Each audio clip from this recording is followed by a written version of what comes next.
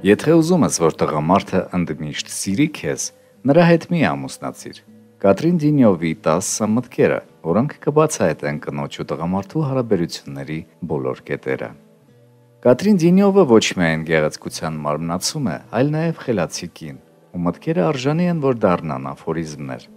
Առաջարկում ենք ծանոթանալ նրա հանճարեղ 10 մտքերին, որոնք բացահայտում են կնոջ ու տղամարդու հարաբերությունների բոլոր նուրբ անկյունները։ Սերը տարապանք է, մի կողմը միշտ ավելի շատ է սիրում, քան մյուս կողմը։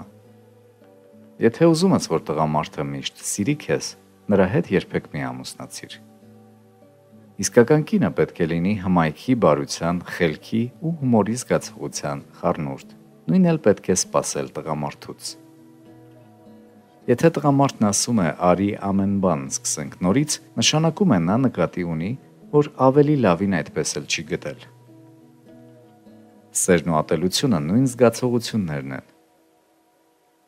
Տղամարդու հետ ֆլիրտ անելը դեղ օգտագործելու նման է։ Դու երբեք չես իմանա, թե ինչ ազդեցություն այն կունենա հետագայում։